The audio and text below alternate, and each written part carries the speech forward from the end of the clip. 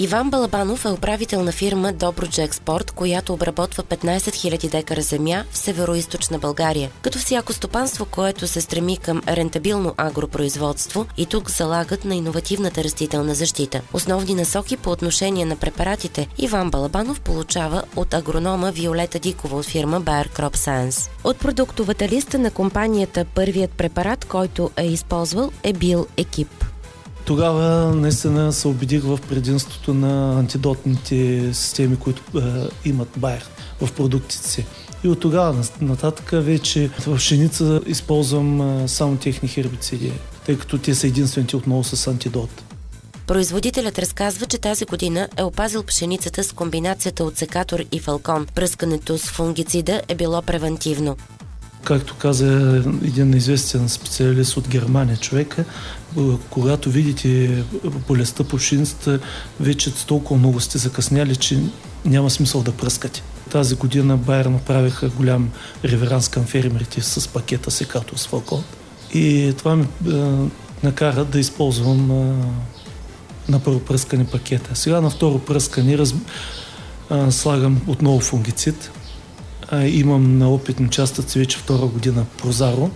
Иван Балбанов посочи, че благодарение на този нов продукт са отчетени до 20 кг от декар разлика в добивите. При опазването на царевицата от плевели Иван Балабанов е разчитал на Лаудис и екип, приложил е и най-новият хербицид на Bayer Crop Science.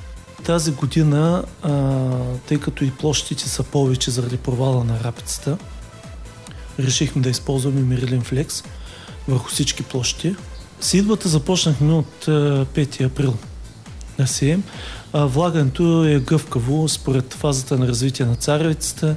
Винаги на втори лист, трети лист, рано вегетационно сме внасяли Мерлин Флекс, за да можем да хванем рано поникващите плевели вегетационно. Вижда се, че сме били на прав път. Вижда се ефекта, дори когато беше сухото, пак имаше ефект. Разбира се, ефекта дойде в пълнота с, с валещи. Това е основно предимство. Но и това беше и целта, за да го вземем. Защото никой друг почен хербицид не се активира след валеж. Много важно според Иван Балабанов е, че третирането с Мерлин Флекс не оказва фитотоксичност върху растенията.